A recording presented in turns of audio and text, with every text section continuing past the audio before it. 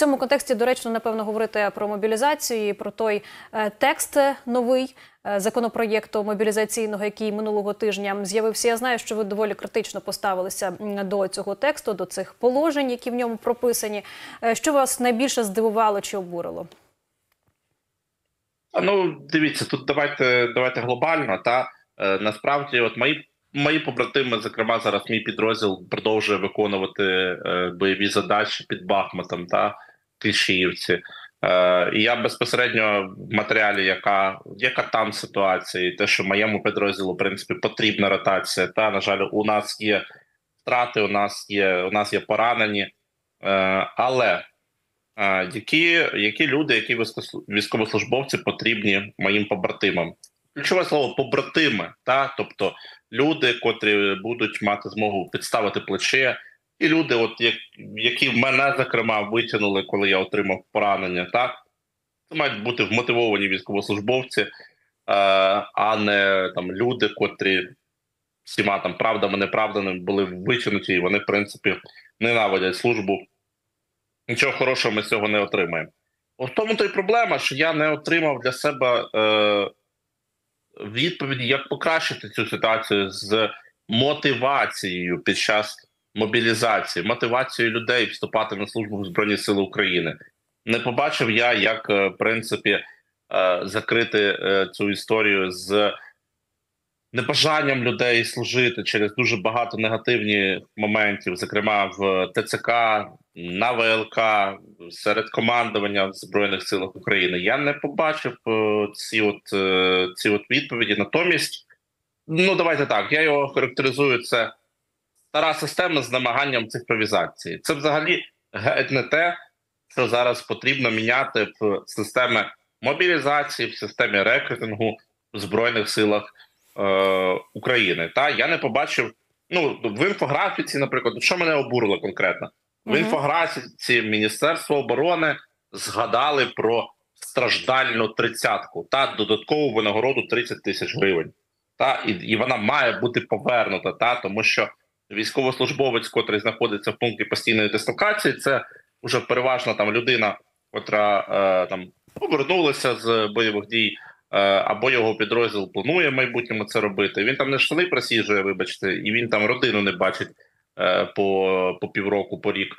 Е, Відповідно, ну що таке сухе забезпечення 20 тисяч гривень, коли хлопці все одно купують автівки, все одно заправляють власний транспорт. Має бути все ж таки якась додаткова соціальна підтримка у розмірі, хоча б цієї 30 тисяч гривень. Угу. Згадали Міністерство оборони. Я подумав, ну хоч щось рухаємось, нас десь почули. Я відкриваю текст законопроекту. Жодного слова, нуль. Просто в тексті законопроекту щодо додаткової винагороди. Ну тобто, знову ж таки, маніпуляція. Я вважаю, що соціальну е, історію треба прописати е, в даних відповідних змінах і чітко зафіксувати та повернення 30 додаткової винагороди 30 тисяч гривень збільшити, підкреслюю, е, додаткову винагороду 50 тисяч за виконання спеціальних завдань і 100 тисяч за виконання безпосередньої участі в бойових е, діях. Так само, якщо ми говоримо про можливість звільнення, та, хоча там не все так просто, uh -huh. та, якщо ми говоримо про 36 місяців, та, я не даю зараз е, оцінку, там це багато чи мало, але ми бачимо першу тенденцію що влада вже відверто говорить про можливість звільнення та під час воєнного стану. Тобто теоретично пропадає ця історія з невизначеністю, тому що раніше такої можливості не було. Але не все так просто. Там далі є кома е, в цій статті, і що в принципі це рішення е, залежить, е, це воно не є автоматичним після набуття служби -hmm. 36 місяців у збройних силах України під час воєнного стану. Там є далі кома, що ставка верховного головнокомандувача, в принципі, буде приймати це рішення. А що тут мені е, врізало око, та що ми в принципі абсолютно на різних хвилях, та що влада абсолютно не розуміє, е, не відчуває той от момент, що відбувається в збройних силах України.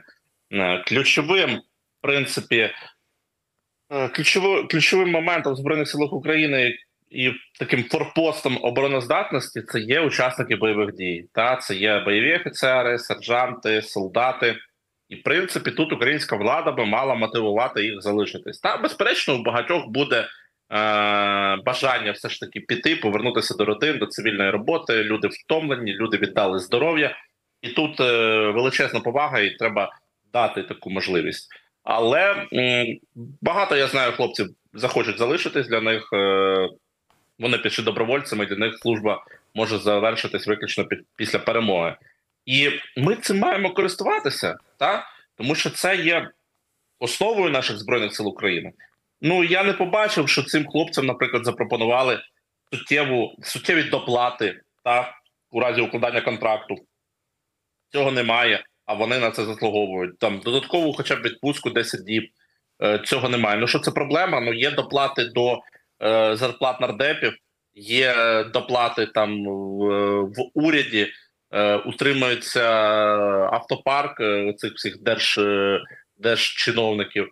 А ми не можемо зараз знайти, вийти і сказати, хлопці, ну там, якщо що, ви залишайтеся, будуйте кар'єру в збройних силах, укладайте контракти, ми будемо тільки ради, тому що ви наша основа. А? Ну тому що давайте подивимося, що буде, якщо всі учасники бойових дій е, раптом звільняться. Та а більшість цих людей саме в перші дні війни вступили Мгм. на службу. Е, та це значно послабить е, обороноздатність е, країни. Там дати можливість я не знаю, е, розмитнювати учасникам бойових дій, е, розмитнювати е, раз три роки там авто для власних е, потреб за кордону. Ну це ж такі дрібні речі, але це історія про якусь ну, соціальну підтримку, про якусь повагу. Е, Цього всього нема. Пишемо просто сухі речі. Таке відчуття, що просто ну не розуміють, не хочуть зрозуміти.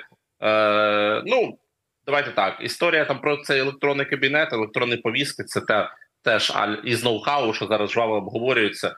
Ну я та я особисто справді ставлюсь до цього скептично, тому що я, по-перше, не побачив історію про зміни в цьому законопроекті. Там багато говориться про ВЛК, те, що от Мгм. е, страждальне ВЛК, що там його мають всі проходити, медичний огляд, і не пропонують жодної історії змін. Ну тобто, а я відкриваю ну, спойлер, там корупція.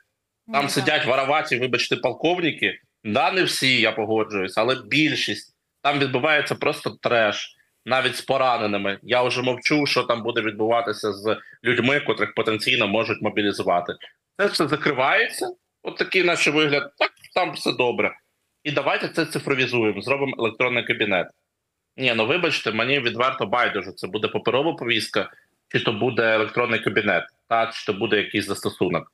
Мені байдуже. Ви, будь ласка, систему змініть там дуже Мгм. це погано. І через те саме, через це люди не хочуть іти служити. Через те зараз є колосальна, ну скажімо так, е, боязнь цього, та і вона не зовсім е, не безпідставна. Я, як навіть ветеран, е, це визнаю. Тут українська влада зайняла таку дуже зручну позицію, що таке, начебто, знаєте, нічого не сталося. Та сталося, ну сталося, і потрібно змінювати систему всередині, потрібно реформувати органи ТЦК. Безумовно.